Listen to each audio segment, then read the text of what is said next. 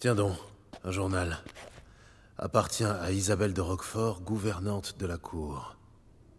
Ce sont les notes de la gouvernante de Siana et d'Anna Henrietta quand elles étaient petites. Probablement inutile, mais rien n'interdit d'y jeter un coup d'œil.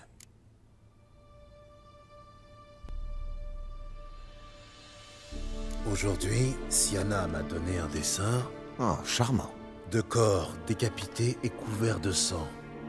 Ah, voilà qu'il est moins. Je lui ai demandé pourquoi elle avait dessiné une telle horreur. Son Altesse a affirmé qu'elle avait cherché à dépeindre les cauchemars qui l'accablent depuis toujours. Siana s'éveille en hurlant chaque nuit, ou presque, sauf quand elle dort avec un Arietta.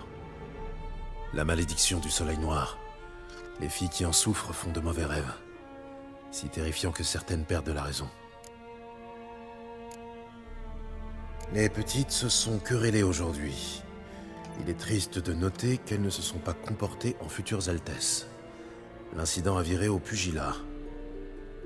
Anna Henrietta fut la première à frapper sa sœur. Siana a répliqué de toutes ses forces. Le temps que je les sépare, Anna Henrietta avait perdu deux dents. Elle a couru se plaindre à ses parents. Son Altesse le Duc a réfuté ma version des faits. Il a donné tous les torts à Siana et fait vœu de la châtier durement. Anarietta s'est efforcée d'adoucir la sentence de sa sœur, mais le duc et la duchesse se sont montrés inflexibles. Quand on est étiqueté mouton noir, c'est fou ce qu'on a le dos large. Aujourd'hui, j'ai accompagné les petites pour la première fois à la contrée des mille fables. Nous y passâmes la journée.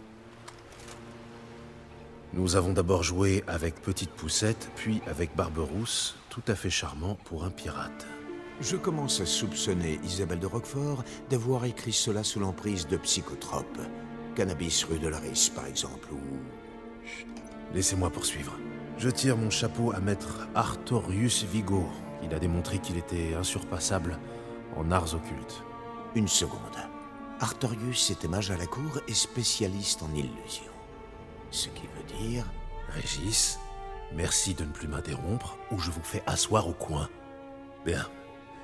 Les petites m'ont dit que si je souhaitais m'y rendre seul, il suffisait d'ouvrir la contrée des mille fables et d'énoncer expecto ludum à voix haute. Un livre déclencheur d'illusions. Mazette. Ça devient chaque seconde plus intéressant.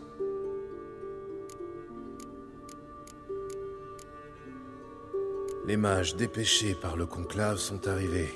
Ils viennent examiner Siana. J'ignore quelles sont leurs conclusions, mais son Altesse est aux 400 coups. La malédiction du soleil noir. Rien d'étonnant à ce qu'on ait aisément reconnu les symptômes. À moins qu'on l'ait accablée à tort.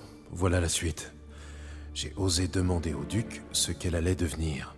Et il ne m'a point répondu. Aujourd'hui, leçon de Nilfgaardien.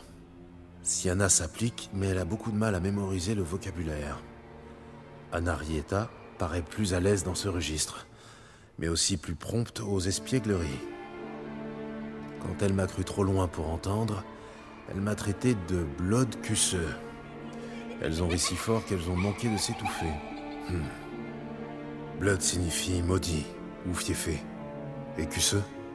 Dans la langue mélodieuse de nos belliqueux voisins du Sud, le terme décrit la fleur à nombreux pétales qui s'épanouit en un lieu au nom moins mélodieux, l'entrecuisse.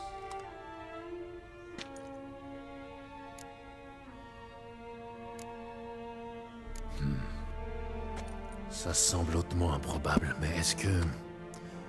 Est-ce qu'Anna Henrietta pourrait avoir projeté Siana dans cette illusion? Hmm, C'est possible. Elise serait à l'abri et isolée. Il faut vérifier. Où est ce journal?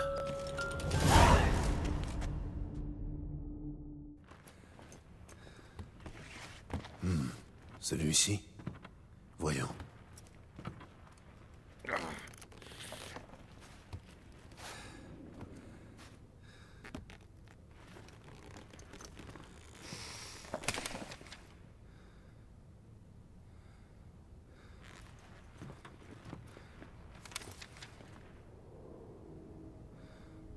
Expecto ludum.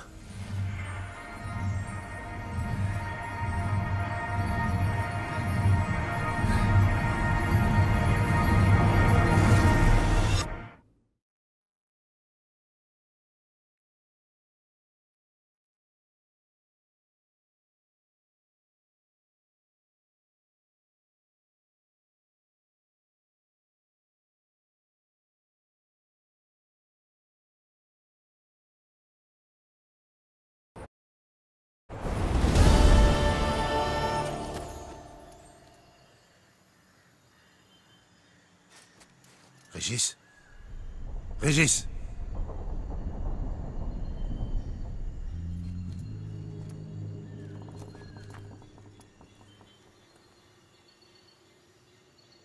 La contrée des mille fables. Incroyable. Hmm. Voyons où me conduit cette route.